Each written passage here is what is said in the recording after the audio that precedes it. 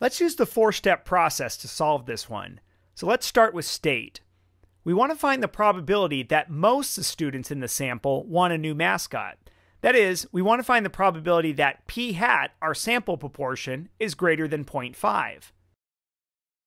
Now we need a plan. The sampling distribution of p hat when the sample size is 40 and the true parameter is 0.38 has some specific characteristics. First, we know the shape of this distribution is approximately normal.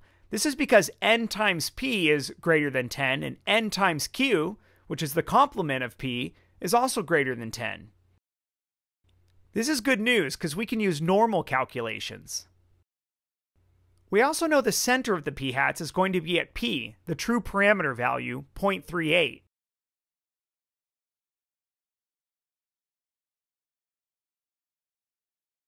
If we assume the school has at least 400 students, the 10% condition is satisfied, and we can calculate the standard deviation of the sampling distribution of p hat.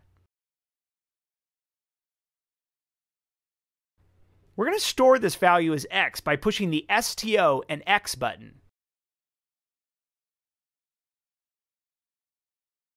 Now we're ready to actually do our probability calculation. We're trying to find the probability that p hat is greater than 0.5. Now since we're allowed to do normal calculations, let's start by drawing a normal curve. The center of the curve is 0.38, the true parameter value, and what we need to do is figure out where 0.5 would be. To do this, we'll calculate the z-score. Our z-score is 1.56, so 0.5 is 1.56 standard deviations above the mean. That's about right here. Let's shade everything greater than that. The shaded area under the curve is equivalent to the probability we're trying to find. Now, using normal CDF, the normal cumulative density function on our calculator, we can calculate the area. Our lower limit is 0.5. Our upper limit is positive infinity, so we'll just put a large number here. Our mean is 0.38, and we stored our standard deviation as x, so we can just type x here. This gives us a probability of about 0.05896. So the probability the majority of our sample wants a new mascot is about 0.0586. But all of this was using the normal approximation to calculate this. It really follows a binomial setting.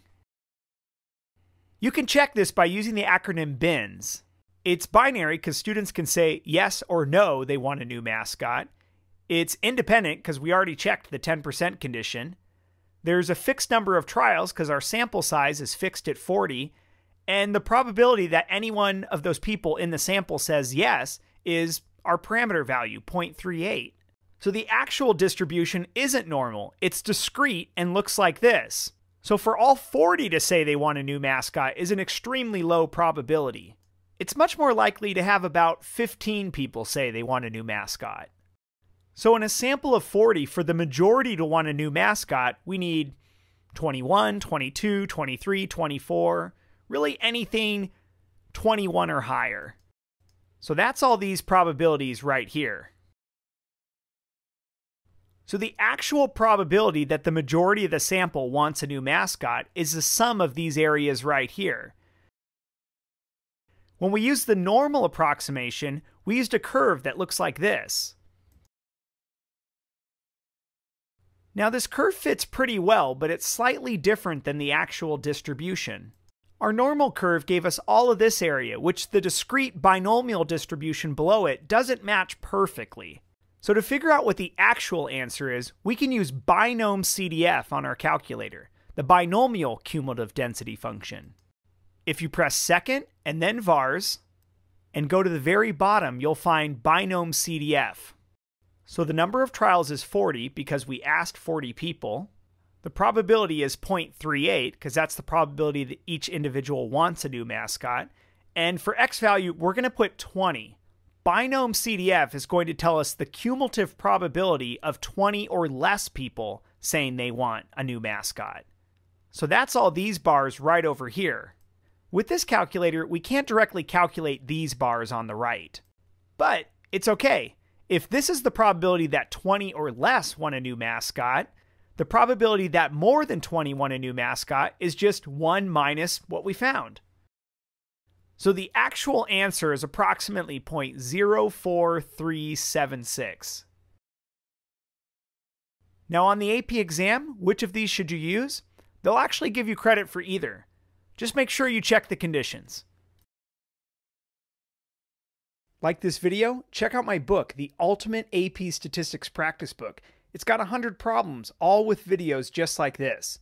You can pick it up on Amazon.com.